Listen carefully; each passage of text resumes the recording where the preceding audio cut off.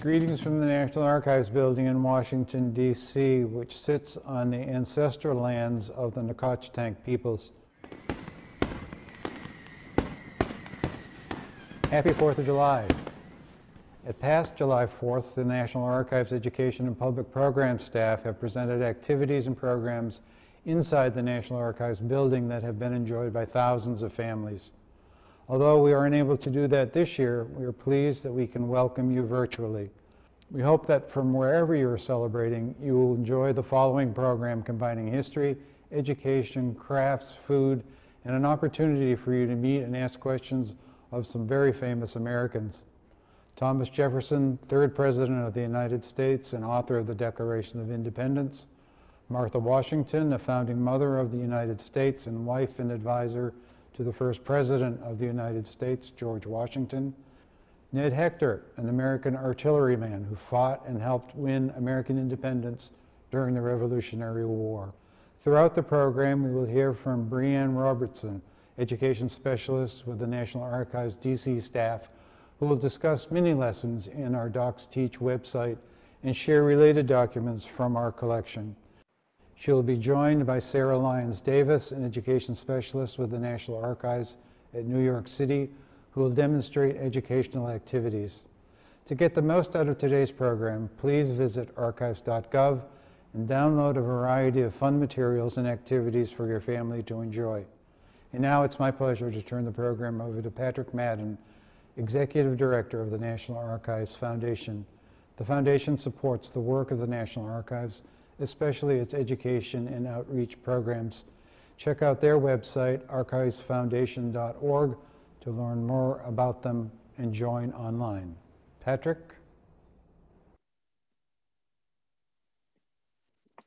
Thank you, David. And on behalf of the National Archives Foundation, happy July 4th. Thank you for spending part of your holiday with us today. We're thrilled that folks from all 50 states have registered to participate in today's program. This is your archives, and you couldn't pick a better day to spend with us. Before we start, we want to thank our sponsors, John Hancock, AARP, and Dykema, who have helped make today's programs possible. We have a busy day ahead of you, uh, exciting lineup uh, starting right now at 11 all the way until 4 o'clock. And then at 4 p.m., the archives will broadcast its annual ceremony, the reading of the Declaration of Independence. This is the 51st year the National Archives has presented the reading, and the second year we will present it virtually.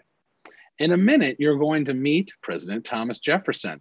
I hope you've had a good breakfast and you're ready to ask some tough but yet patriotic questions. To ask your questions, we're going to be using the YouTube chat. So, for a little practice right now, I encourage you to put your hometown and state in there, and I'll give you a shout out later on in the program. Before we jump into the program, the National Archives Foundation is also hosting a block party at the National Archives building downtown as we things are opening up in Washington D.C. I'd like to welcome my colleague uh, Liana Ascalise, who is on Constitution Avenue. We've got a lot of exciting things going on. Liana, are you there? Hi, Patrick. Can you hear me? Yes. All right. Hi, everybody. Hi from Constitution Avenue and happy 4th of July. We have a great celebration going on. There's a long line to sign the Declaration of Independence. We can get over here and show everybody is adding their signature to the document today. Um, and then we have professional whistler um, who is singing some patriotic tunes for us this morning. And Benjamin Franklin and Thomas Jefferson just arrived to the party. So visitors can meet members of the original Continental Congress. We've also got crafts and chalk drawings and, and Uncle Sam's silt walker. Say hi and happy 4th.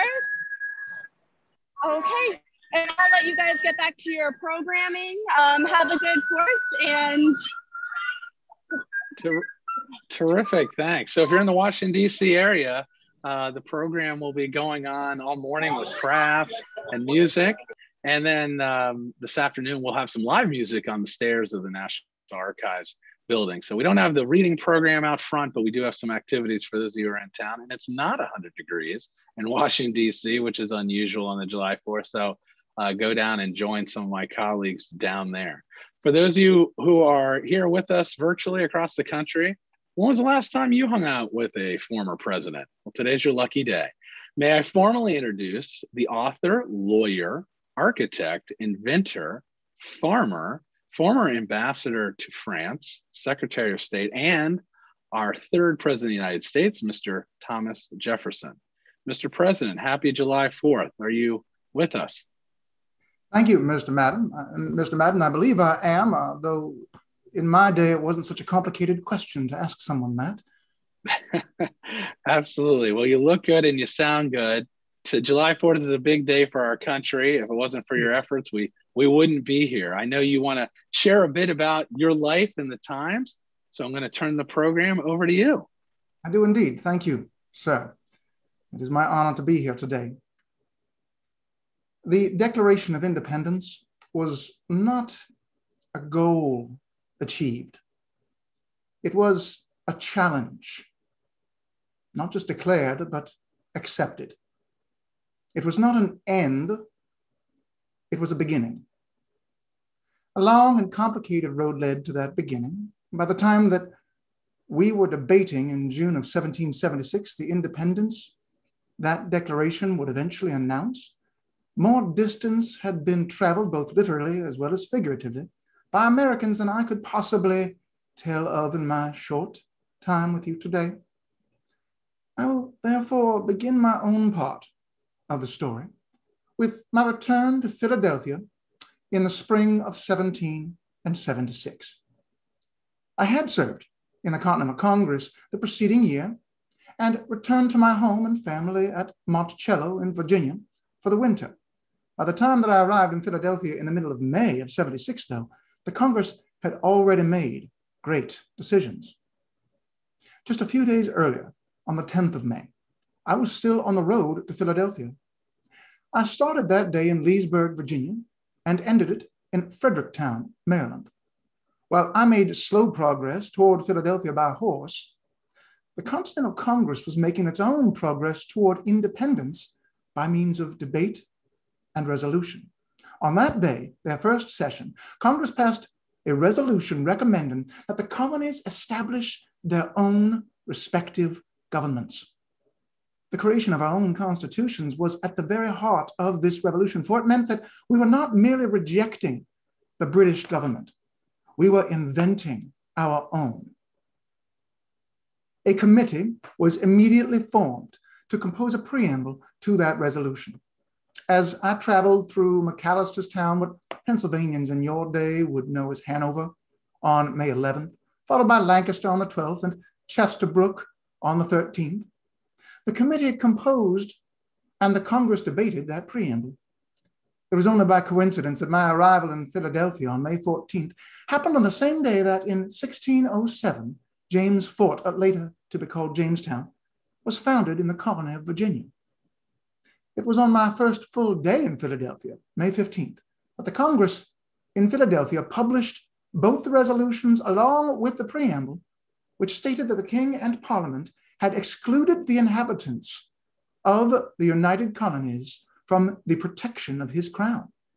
It went on to state that it is necessary that the exercise of every kind of authority under the crown should be totally suppressed and all the powers of government exerted under the authority of the people of the colonies for the preservation of internal peace, virtue, and good order, as well as for the defense of their lives, liberties, and properties against the hostile invasions and cruel depredations of their enemies. On the same day, in my state, Virginia, the Virginia Convention voted on a similar statement, along with instructions to their delegates in Philadelphia to propose a resolution for independency. The May 15th Virginia resolution asserted that in this state of extreme danger, we have no alternative left but an abject submission to the will of those overbearing tyrants or a total separation from the crown and government of Great Britain, uniting and exerting the strength of all America for defense, and forming alliances with foreign powers for commerce and aid in war.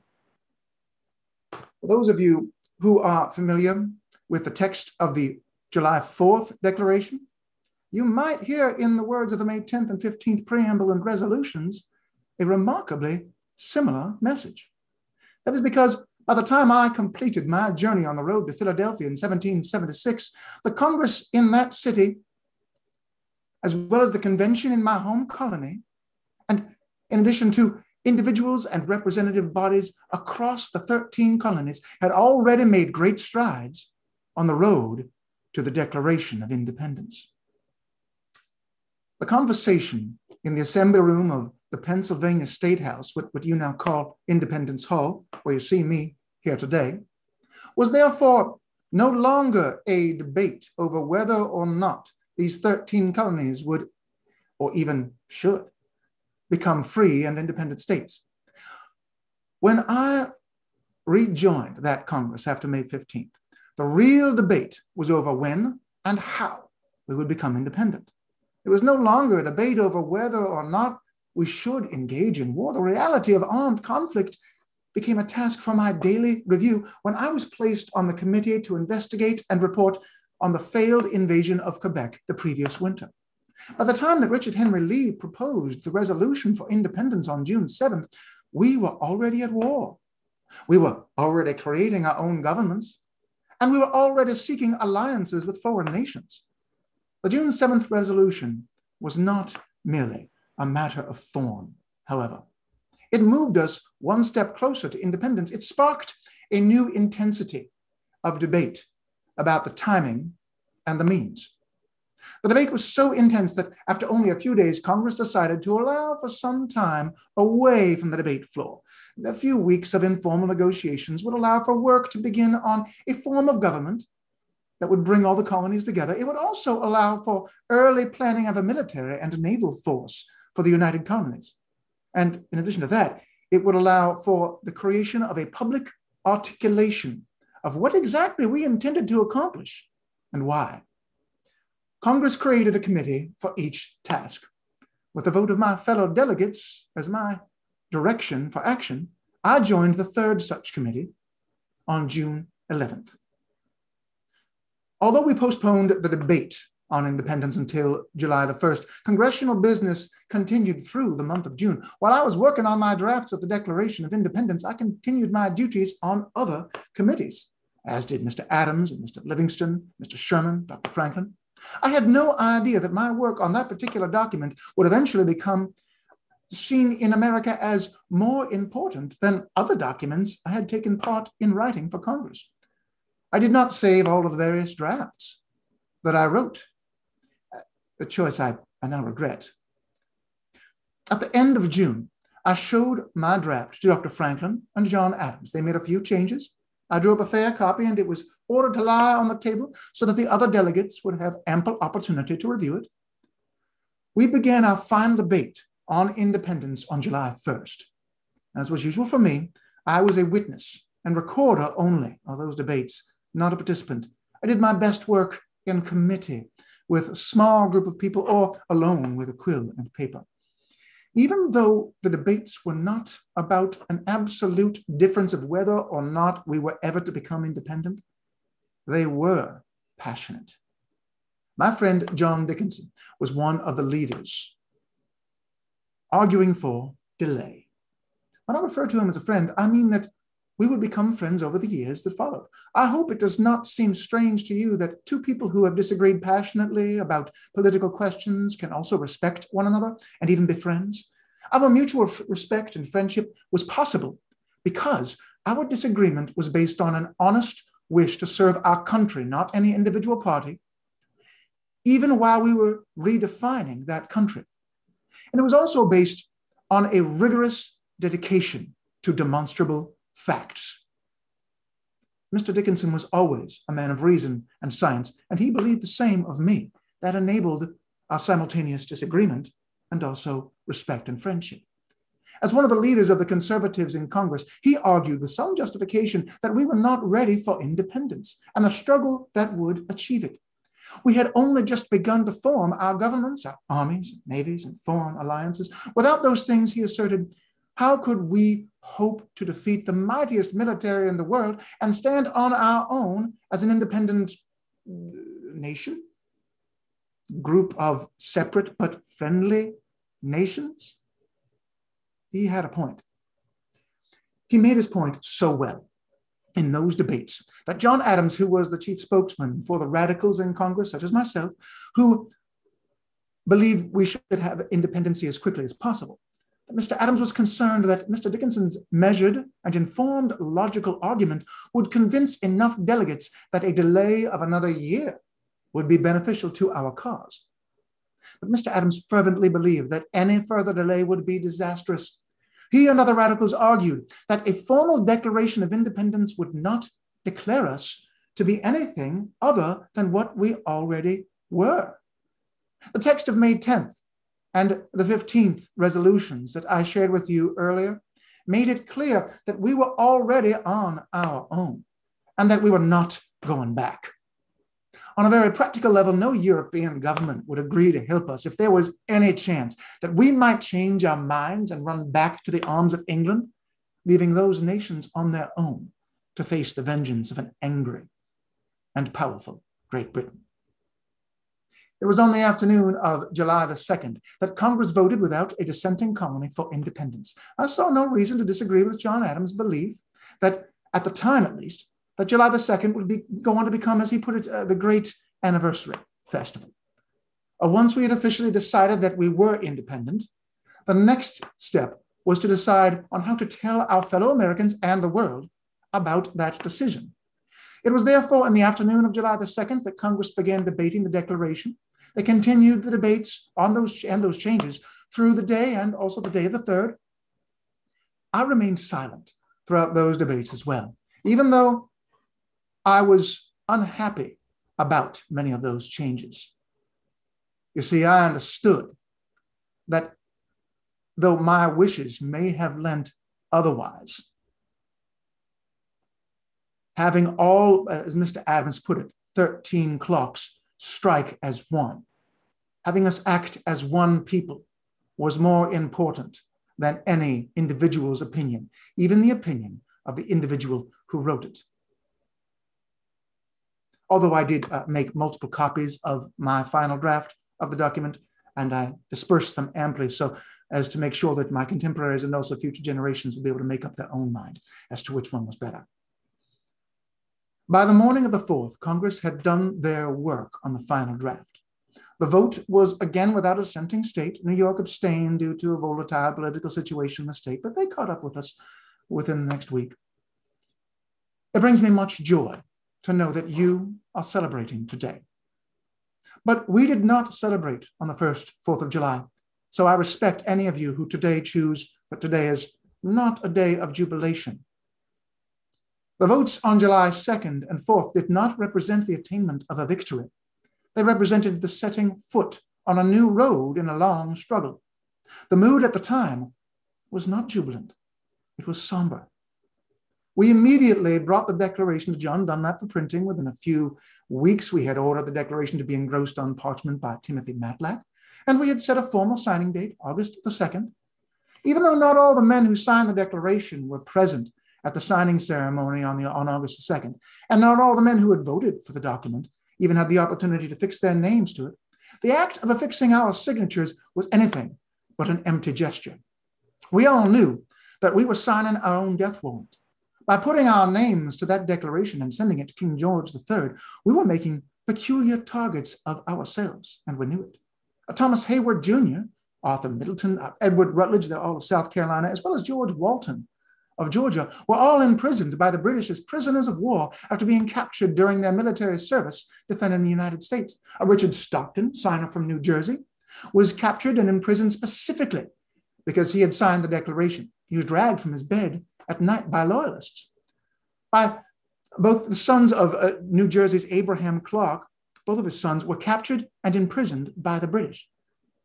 The eldest son of New Jersey's John Witherspoon was killed in battle in Germantown. A Thomas McKean, who signed for Delaware, wrote about how he had been hunted like a fox by the enemy, compelled to remove his family five times in three months, and at last fixed them in a little log house on the banks of the Susquehanna. But they were soon obliged to move again on account of the incursions of the Indians. I, I could tell you a similar story about myself and my own family from later in the war. The home of New York's signer Lewis Morris was first occupied, then looted, then burned by the British. My point is not that all of these sacrifices were due solely to the signatures that these men placed on the Declaration of Independence. Rather, it is to say that their signatures carried deep meaning. They committed themselves publicly to a cause, and they suffered for that cause. Signing the Declaration of Independence was one of the ways in which we were able to make that commitment. Others found different, but no less effective means to dedicate themselves to the same cause. I ask you, how will you choose to dedicate yourself to the greater cause, not merely of American independence, but of the true revolution for equality that made that revolution not merely a rebellion, but truly a step forward for the United States of America? Having said all that, what I'm going to do now is pause and turn back to my good friend, Mr. Madden, for I understand that my time for my prepared remarks is quite limited. Uh, and we wanted to do something that's much more important than my talking, and that is invite those who are gathered here today to ask me a few questions. Mr. Madden, would you like to direct this aspect of our conversation? Yes, thank you, Mr. Mr. Uh, Mr. Jefferson. That was terrific. Gives us a lot to think about and and context for what you were thinking about at, at the time. Uh, so again, I want to encourage folks who are uh, watching to um, add their questions into the chat box. And uh, President Jefferson, you uh, will be pleased to know we have people from all over the country watching, some of which you may be familiar with and some of you, you may not. Definitely Maryland, Virginia is well represented, uh, the District of Columbia. We have Hewlett, New Jersey, Richmond, Virginia, uh, Sun Lakes, Arizona, Oak Park, Illinois, Fairfield, California, Frisco, Texas, uh, a couple folks uh, from Florida as well. So uh, our country is watching and listening to your words today as we uh, talk about the, the words that you wrote many years ago. We're already getting some of the questions, so I'm, I'm excited to see that. I did have a question for you that's quite common when we have talk about to children about your work is what kind of pen did you use to write the declaration? Well, I'm glad we're starting with a very simple question. I used a quill pen. Uh, we commonly use the feathers of uh, winged animals. Uh, geese were among the most common to use, where one would take, perhaps you have heard modern day individuals uh, may have heard of the term of a penknife and wondered why it was called that. Well, gentlemen such as myself who wrote quite a bit would carry such a knife with him to carve the end of that feather, not, not the end that is a soft end, but the end that was closest to the fowl from which we plucked the, the feather. So we could carve it in just such a way where the feather was able to soak up some of the ink and then disperse it correctly on the page. Very good. Well, let me jump into some of the questions. Uh, you mentioned that uh, there wasn't a celebration on the first July 4th, but when did you first celebrate July 4th?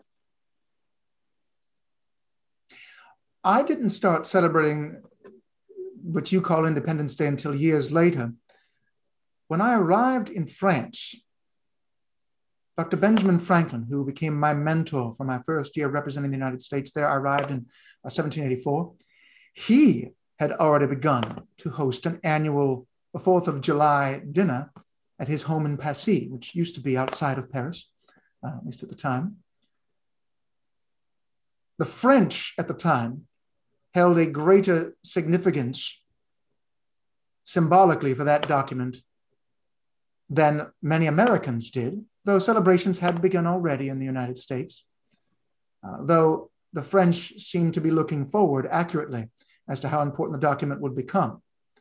As it wasn't even until after I returned home from France, and it wasn't until the 1790s until my name became widely associated with the document and gave me a certain level of fame that gave a lot of strength to those who wished to put me forward as a candidate for political office on a national level. Very good. Um, we have a question about King George. How did he respond to receiving the Declaration?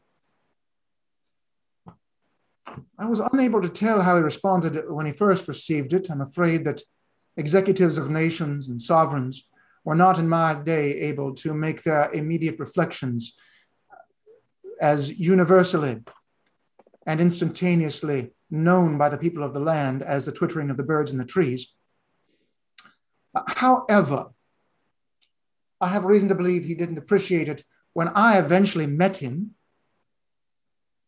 This was when I joined John Adams. He was representing the United States in England at the time at the Court of St. James.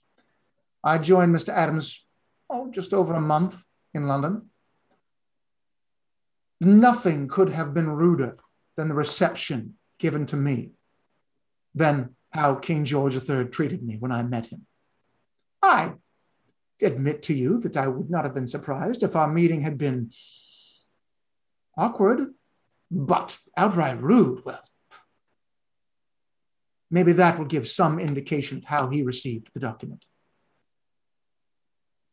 Uh, the document obviously mentioned the, the list of grievances.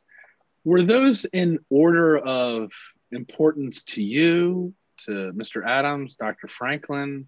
How, how did the organization of the grievances work?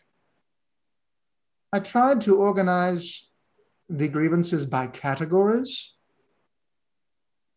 There were some that were specifically about starting out regarding legislation, laws, uh, specific acts of the king, acts of parliament came a bit later. So we referred to parliament as a foreign jurisdiction, not recognized by our laws. Uh, there was another section, for instance, uh, on what I think the easiest way for me to do this is to speak in terms of your day briefly on what you in your day would call war crimes. There was a section then on them. One of the grievances that I included in that section was cut. It was a, it was a grievance that condemned slavery, but it was under that rubric, if you will, of actions. We all know that war is a terrible thing. Violence is committed on both sides in a war, but there are certain acts that uh, the law of nations and that the Republic of Letters around the world acknowledge to be even beyond what is acceptable in wartime. I had included that mention of slavery and condemnation of slavery in the subset of grievances that were condemning those actions on the part of the, of the British Crown up until July of 1776. It was an awkward fit. Congress removed that uh, paragraph entirely when they could have kept the subject matter in and just moved the subject matter elsewhere. So it was, therefore, the, the grievances are broken down by category rather than list of which is most important, which is least important. Okay. I have uh, interesting questions, a little specific about your draft. Uh, I've not heard before. In the draft, your draft, the declaration, you used all caps for United States. We know this is the first uh, that phrase is first used in the in the declaration, but in the final version, it's used. It's sort of a smaller, uh, almost like an adjective. Now, is that just a matter of the engrossment, or can you talk a little bit about that? I want to be very careful when I address this subject uh, because this is I, I, I need to acknowledge that I understand I'm in a very different circumstance and context than I ever was in my lifetime. Our ability to converse today is predicated upon that, of course. After all, we could have no such gathering during the yellow fever epidemics in Philadelphia, when the capital had to be moved from Philadelphia to Germantown, Pennsylvania.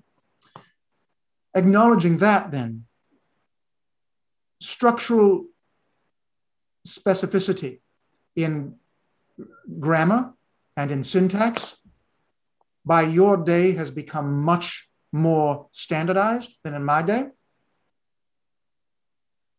It would be easy then for people in your day to, to, to place the import of structural specificity that you have been trained in, you've become accustomed to, into my day, where I, I, fear that those of you who are punctilious about your writing rules would think that I was a terrible speller.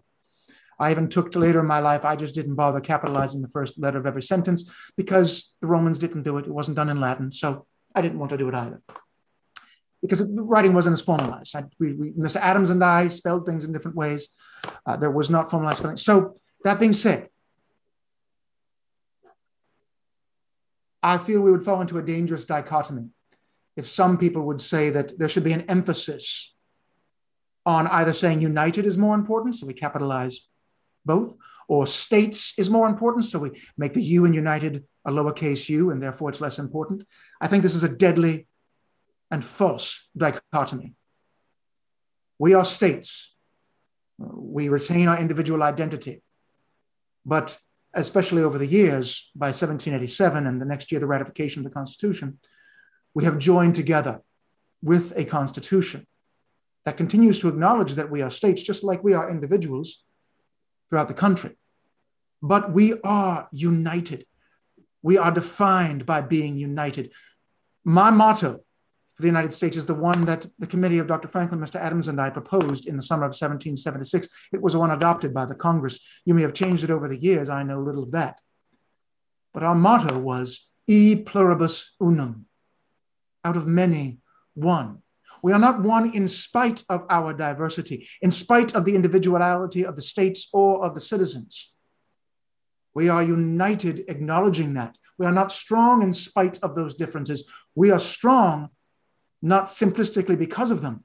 We are strong only if we acknowledge those differences and we engage in the difficult conversations where we do as we did in 76 in Philadelphia and 87 in Philadelphia. We work through those differences and find some place where we can take action together, united, even while acknowledging that we are, in fact, our own people and our own states. Very good. Well, we only have just a couple more minutes, and this is changing uh, topics a little bit. You were somebody who studied many um, subjects, mastered many uh, professions and subjects. So uh, we have a guest who's asked about the building of Monticello. Can you briefly talk about talk about that? Oh, how delightful! I am. Thank you for asking about about my home. Uh, my home was a project of as it turned out, half a lifetime.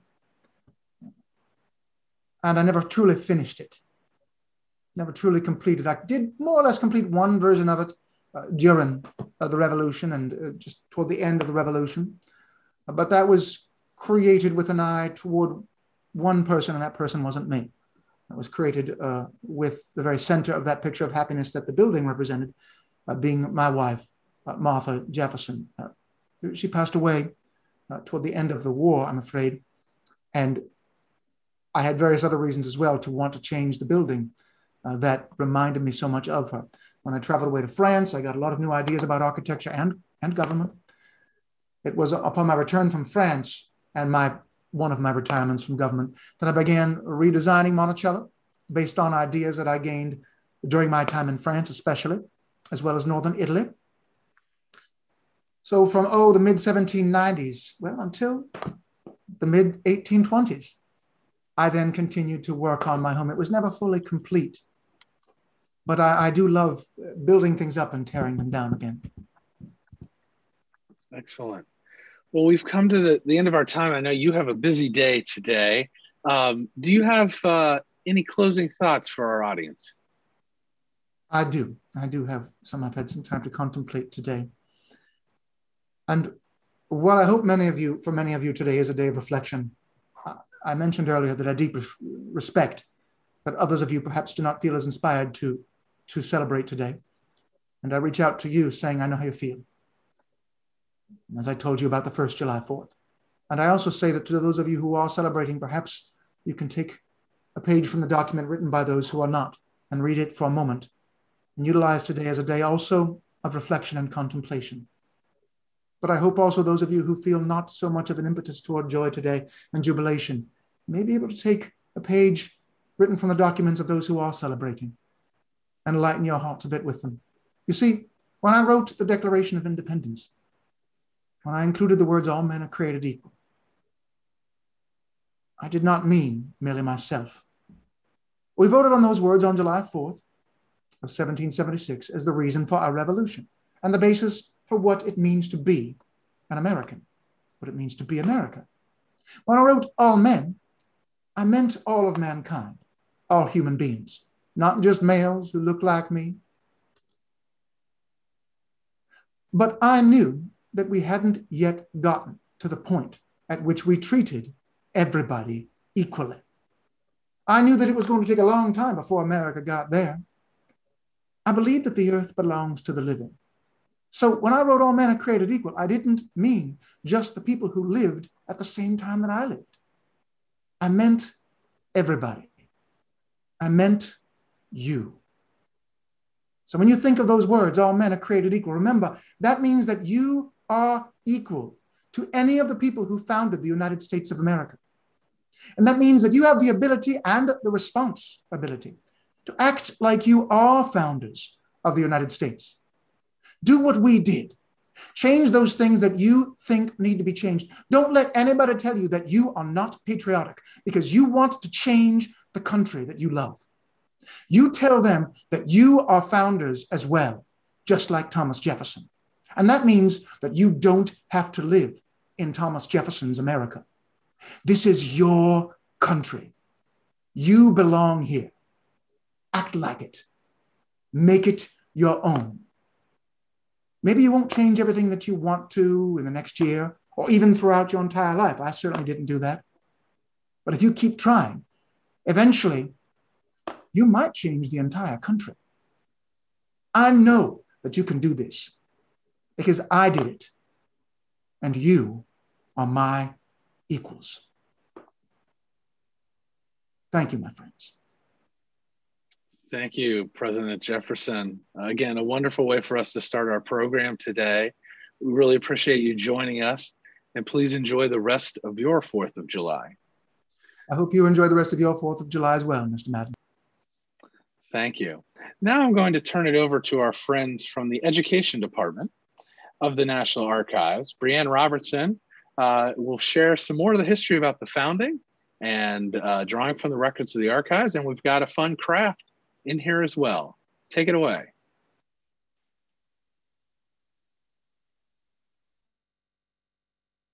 Thank you, Patrick.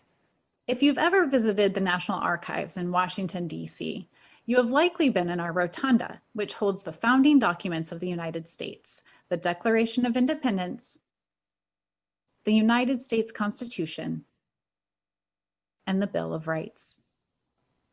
The Declaration of Independence announced its intent to the world. The 13 colonies would no longer be under British rule. They would separate and form a new and independent nation, the United States of America. Today, we think of Thomas Jefferson as being the author of the Declaration of Independence. But when the Continental Congress adopted the proclamation on July 4th, 1776, Jefferson was not credited publicly then or for several years afterward. A committee made up of John Adams, Ben Franklin, Thomas Jefferson, Roger Sherman, and Robert Livingston had the task of drafting the document. The group regarded Jefferson as the most talented writer and asked him to write the first draft. John Adams, for example, remembered telling Jefferson, You can write 10 times better than I can. The committee edited Jefferson's draft and presented a second version for the Continental Congress to consider. The Congress made further edits to the proclamation before voting to adopt it. It is important to note that the name of the document changed during the editing process. The proclamation now announced it was the work of the unanimous 13 states. The Declaration of Independence concludes with these words We, therefore, the representatives of the United States of America, in General Congress, assembled appealing to the supreme judge of the world for the rectitude of our intentions, do, in the name and by authority of the good people of these colonies, solemnly publish and declare that these united colonies are, and of right ought to be, free and independent states. And for the support of this declaration, with a firm reliance on the protection of divine providence, we mutually pledge to each other our lives, our fortunes, and our sacred honor. The signers of the Declaration were risking everything their lives, their fortunes, and their honor because they felt that the cause of an independent country that would have a fair and just government was even more important. When the Declaration was approved and adopted, John Dunlap, the official printer of the Continental Congress, got to work making the first printing for Congress to enter in the Journal of the Continental Congress July 4th entry. Dunlap then made copies of the Declaration that would be sent out and read to the public. Broadsides were like the newspaper of the day. They were sheets of paper printed on one side and distributed to the people. There were many broadsides printed for spreading news and many printers in 1776. But since John Dunlap was the official printer for Congress, his broadside is referred to as the Dunlap broadside. Because news about the Declaration of Independence was so significant for the colonists to know, Dunlap printed around 200 copies. Those copies were sent throughout the colonies and read in cities and towns so that everyone would know that Congress planned to break away from British rule. Local newspapers and printers also published copies so that citizens as far north as Exeter, New Hampshire, and as far south as Charleston, South Carolina, could read or hear the words of the Declaration. Remember, in 1776, there were no phones, TVs, or computers to share information so broadsides were commonly used to spread news.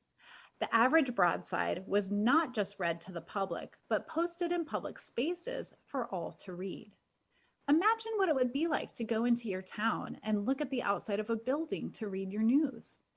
The average broadside was about 20 inches high by 16 inches wide, roughly the size of a small poster today. The National Archives has the official copy of the Dunlap broadside, the one that was entered into the Journal of Congress back on July 4th, 1776. Our version is one of 26 copies known to currently exist. So, now that you know what a broadside is and what the Dunlap broadside signifies, let's take a closer look at the Dunlap broadside and compare it to the written version of the Declaration.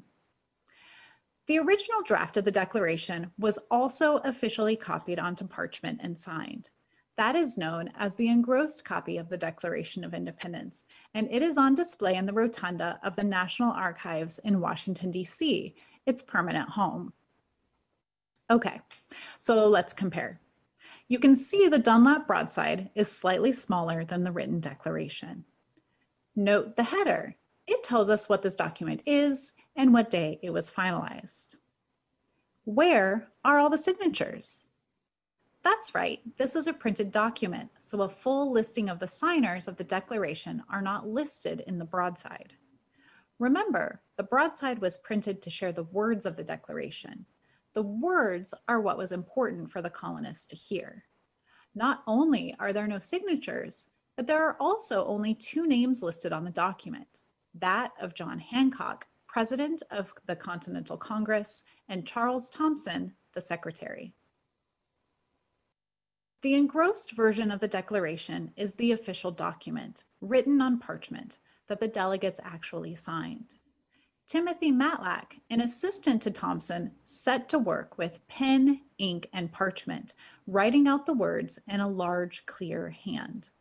His penmanship is a formal style called English roundhand or copperplate. Its precise lines made it suitable for engraving or printing.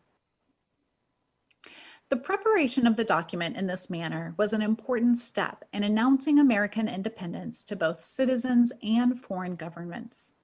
Although the printing press began to replace handwritten documents at this time, Matlack's handwritten document lends a sense of elegance, authority, and, most important, anonymity to the Declaration of Independence.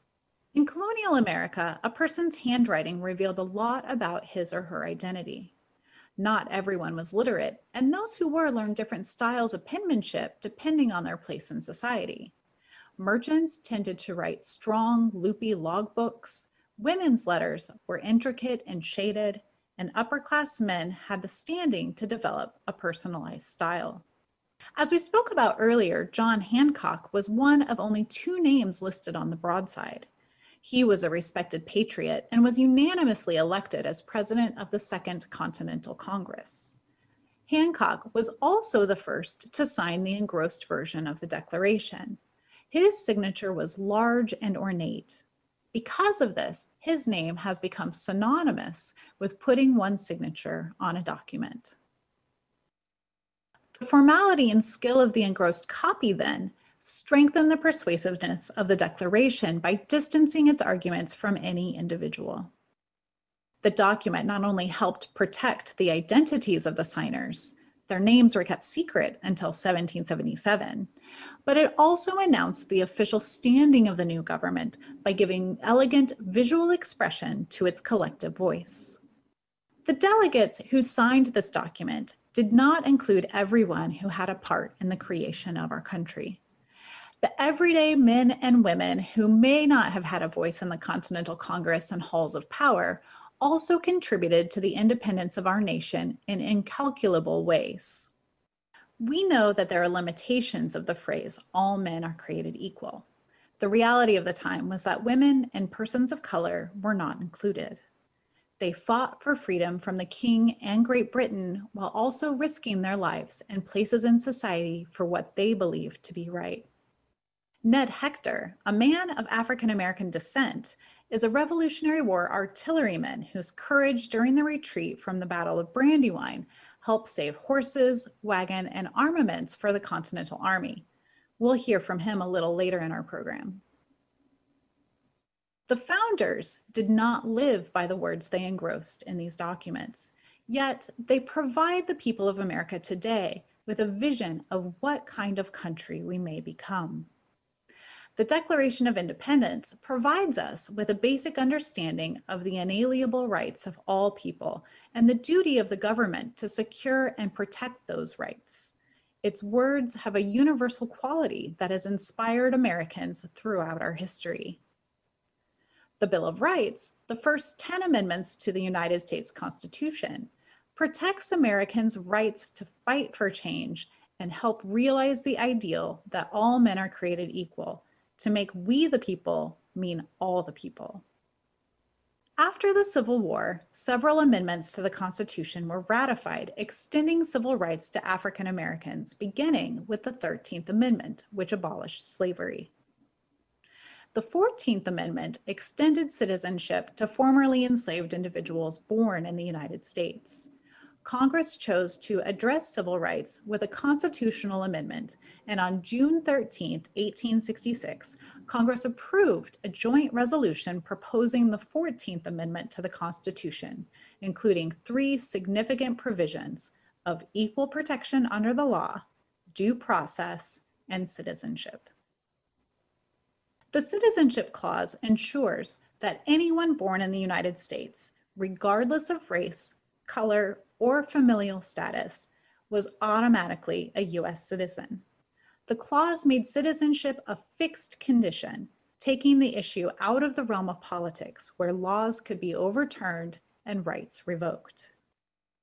By February 3, 1870, three quarters of the states ratified the 15th Amendment, promising that the right of male US citizens to vote shall not be denied or abridged on account of race, color, or previous condition of servitude. While a great victory for Black men, many others, including women and members of Native communities, were still excluded. Citizenship was not extended to American Indians until the 1924 Snyder Act, and even after that, many states used Native Americans' unique status to deny suffrage as US citizens. It was not until 1962 that all states guaranteed voting rights to Native peoples. Furthermore, full delivery of the promise of the 15th Amendment was postponed as some states took steps to limit or deny Black men their constitutional right to vote. Several states enacted discriminatory practices, disenfranchising communities and putting obstacles to voting in place, such as poll taxes and literacy tests. It would be almost another hundred years before further acts were passed to strengthen protections of this amendment. The Voting Rights Act of 1965 focused primarily on enfranchising African Americans in the South. The Act and its extensions also safeguarded the voting rights of many other minority Americans. Within months of the Voting Rights Act of 1965 being signed, a quarter of a million African American voters were registered to vote. This photograph of a polling place in Alabama reflects the unprecedented numbers of voters that turned out.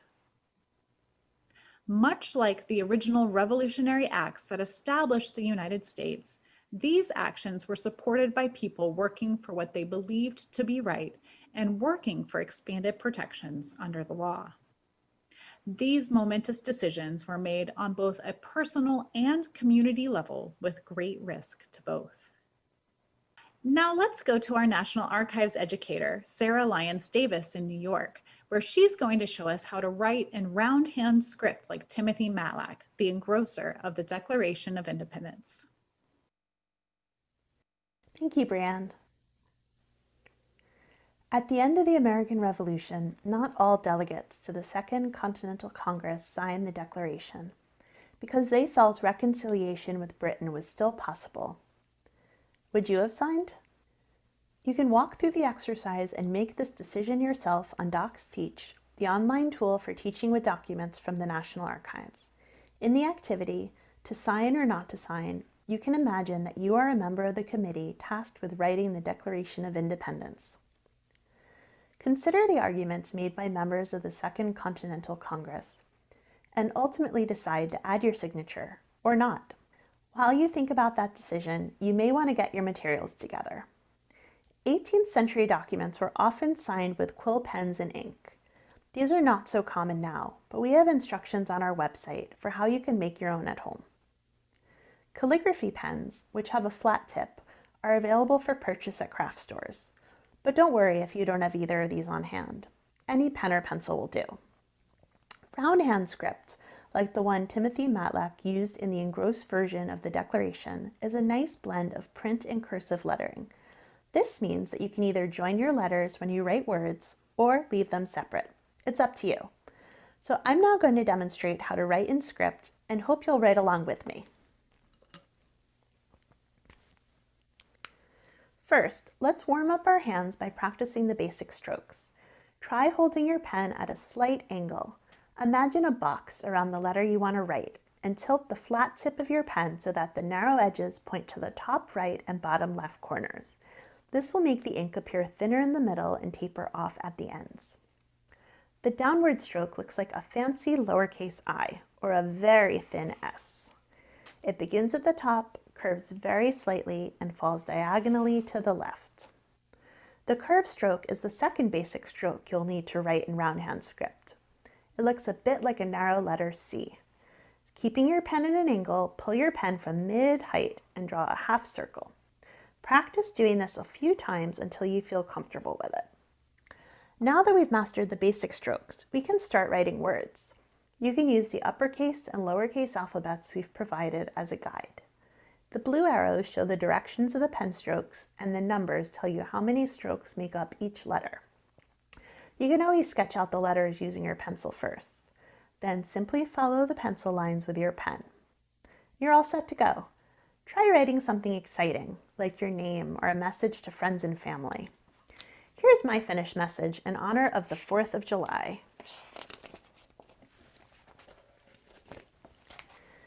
You can also print and add your signature to the Declaration of Independence using the activity packet we've provided or by going to our website. Remember to share what you create with us. You can tweet us using the hashtag ArchivesJuly4.